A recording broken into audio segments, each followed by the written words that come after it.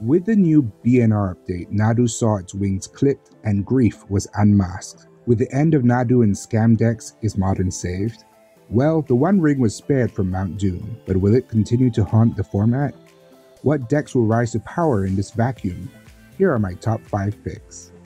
Number 5, Ruby Storm. The discounts given by Ral and his medallion will wish its way to victory and send shockwaves through Modern.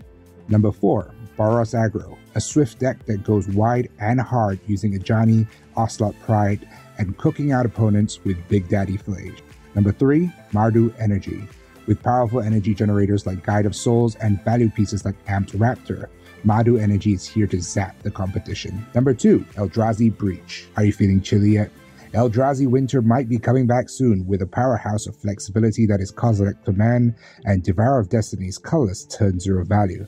This deck will breach all expectations. And lastly, number 1, Dimir Control because all hail Hypnotoad with its control suite and top end heavy hitters like Murktide Regents. What do you think will replace Nadu and Grief as the next modern boogie monster? Comment your picks below.